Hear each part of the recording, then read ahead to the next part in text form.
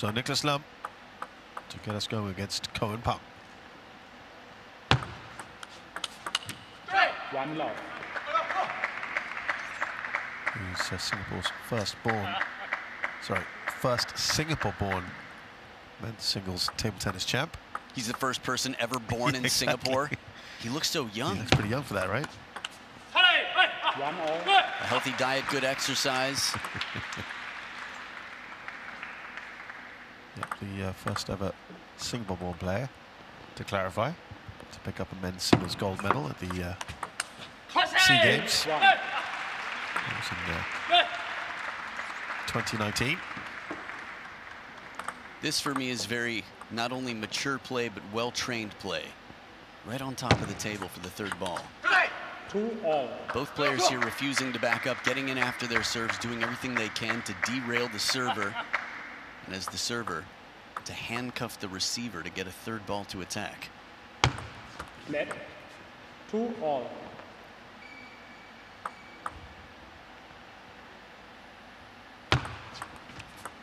Two three.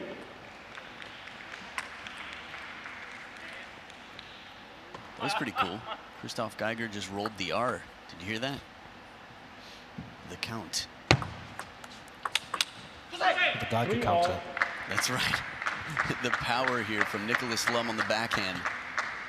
The most satisfying thing for me in the start of this match, Nicholas Lum played a shot off the forehand, and it was just such a clean, high-pitched sound. Something so smooth, a lot of, I'd say the perfect combination of forward drive with the topspin. Net. Three all. You said he was a, a former number one, wasn't he? Nicholas Lum, under, under 17, you said? That's what I was told. Four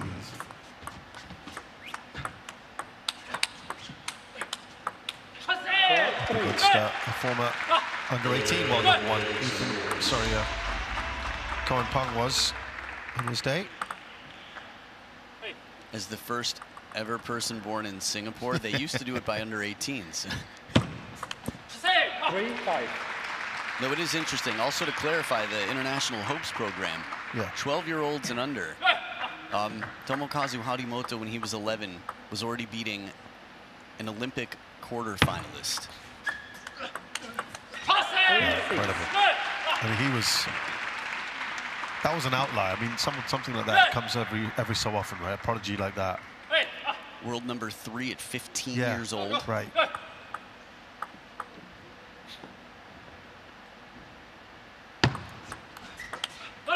Seven three. Well, Koen Pang in a good position here. He's four points clear of his opponent.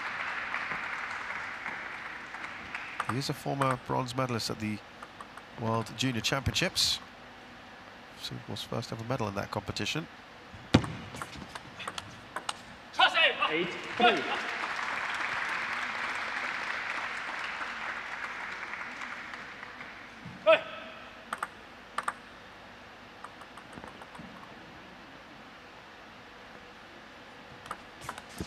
Three nine.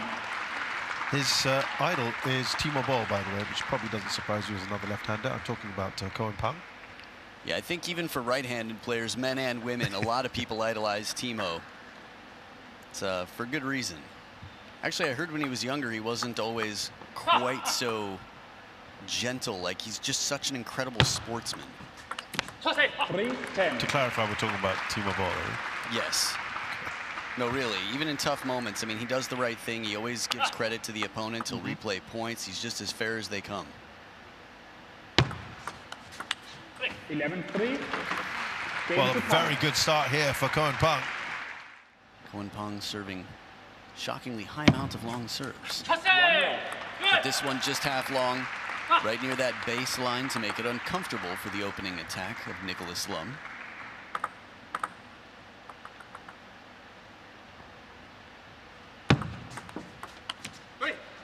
Good heavy push here, though. The underspin, not a lot of time to react and really get the legs in to lift it.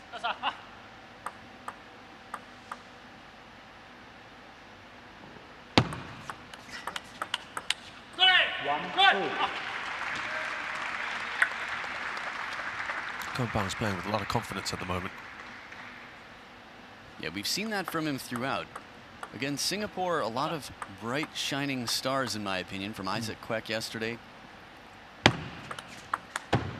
Three, one.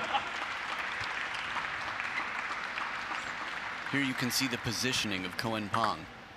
Really stays there. And I say that because Nicholas Lum looks for a side spin wide forehand. But it still would have been in reach, but this one, no chance. Smokes it past him down the line. Brilliant play from Lum. Funny, it didn't seem that high, but it was about twice as high as the shot before coming in. Two, four.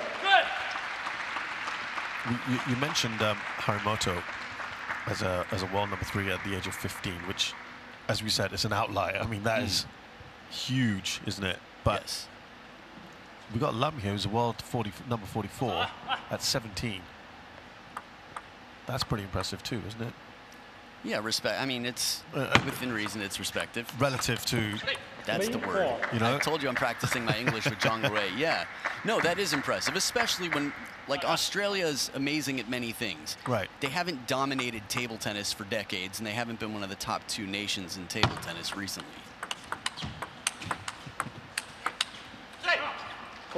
So, I'm sure some of the Aussies might uh, say that's probably a rare thing that they're not dominating any in a, sport, isn't it? Because they, they tend to. But yeah, table, Table tennis, tennis- Isn't, isn't one of them. table tennis specifically, I don't think that's a shocking news. I don't think any Australian friends of mine are going to be like, what? Bob Bobro, we've dominated table tennis. China learned from us. Don't you see all the Australian coaches around the world for China, Japan, and Korea, and Germany? No, I mean, Nicholas Lum is definitely a trailblazer in his own right off to an amazing start. Four, six. And it's Koen Pang who's leading in game two.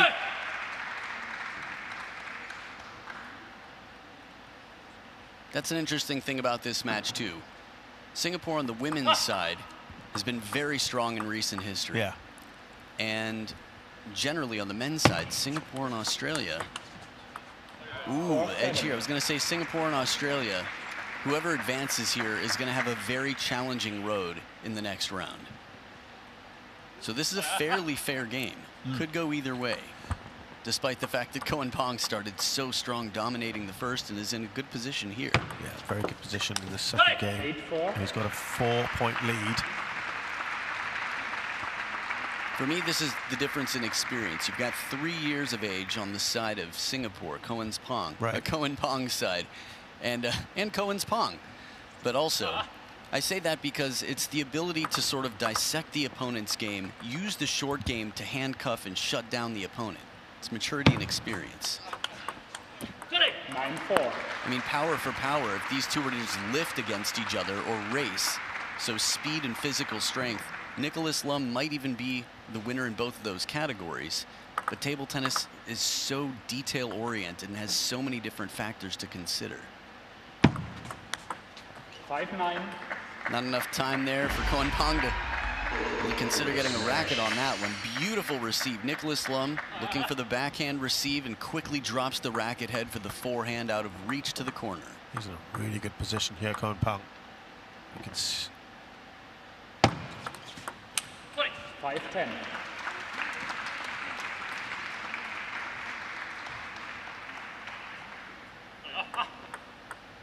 Now five game points for Koen Pong on the receive. Ten, six.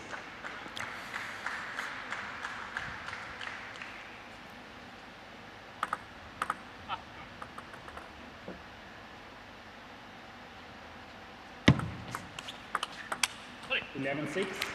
That's the second game for Koen Pang. He's in great position now. That was at the Commonwealth Games in 2019. He was world number 32 at that time. Sharath Kamal. And uh, Nicholas Lum not too far away at 44. One, all.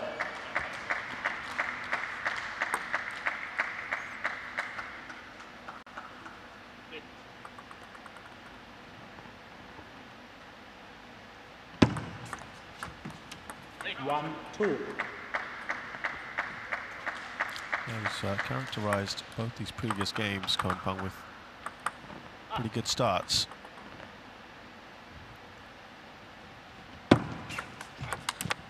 Three, one.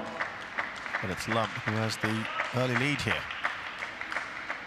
It's interesting when you look at world rankings to think, if you were only to look at world rankings and sort of guess the odds of who would win, I mean, the difference here would heavily favor Nicholas Lum.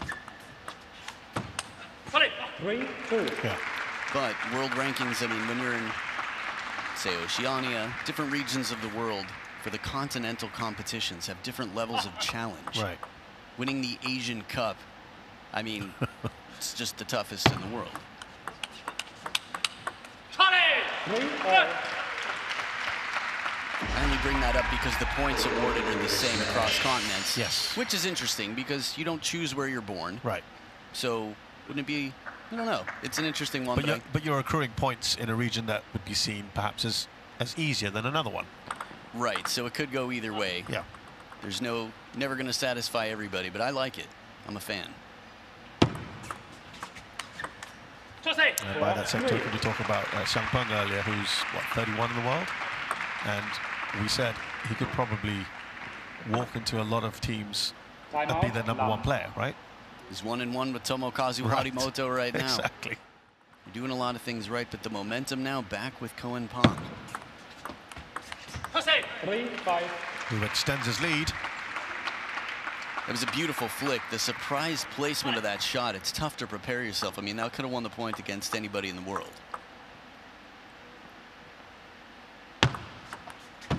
Four, five. On his serve, important here for Lum.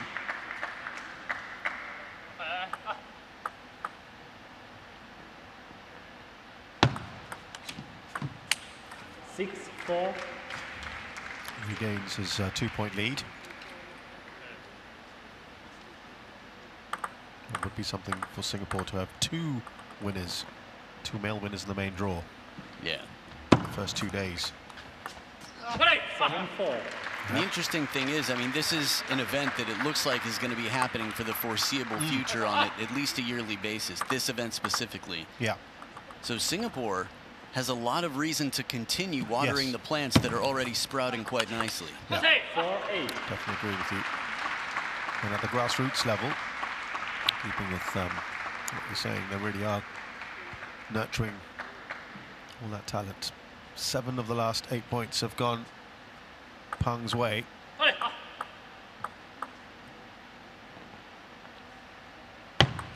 Let.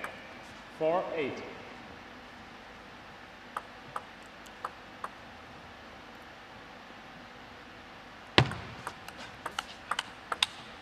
Four, nine. He's just two points away, Koen Punk.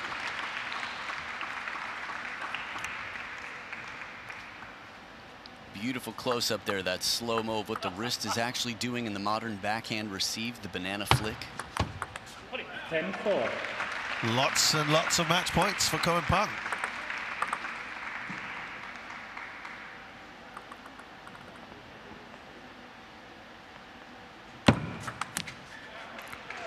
Brilliant work, Koen Pung. Game in extra time. He's been excellent. three games to love. It's the second ever win for Singapore in, in the men's draw.